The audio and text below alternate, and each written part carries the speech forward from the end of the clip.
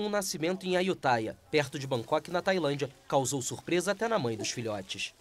Uma elefanta deu à luz a gêmeos, um fato raro para este mamífero.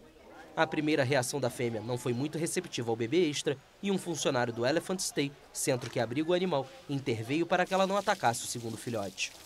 O homem foi repelido pela paquiderme com um golpe no tornozelo.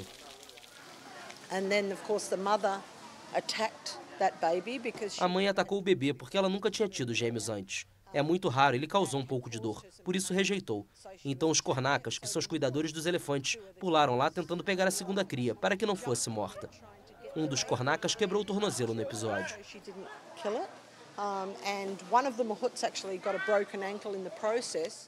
A mãe acabou aceitando os dois filhotes, mas eles são muito pequenos pelos parâmetros da espécie.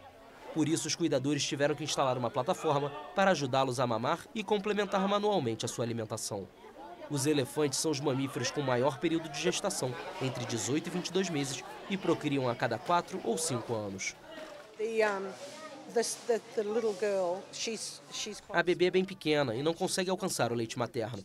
Já o bebê macho é mais alto, mas não sei se é só preguiçoso ou um pouco mais lento.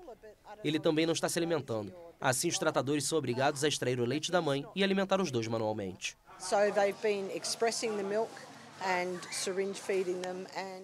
A bebê fêmea nasceu com 60 quilos e o macho, que veio ao mundo 18 minutos antes, tem 80. De acordo com a organização Save the Elephants, o nascimento de gêmeos ocorre em 1% dos casos e a possibilidade de serem de sexos diferentes é ainda mais rara. Fico feliz que haja elefantes recém-nascidos perto da nossa casa. Nunca vimos um bebê. Geralmente meu filho fica com medo e não quer se aproximar, mas hoje ele quer vê-los de perto. O Elephant Stay acolhe cerca de 80 elefantes, que em sua maioria eram usados para pedir esmolas nas ruas, uma prática proibida desde 2010.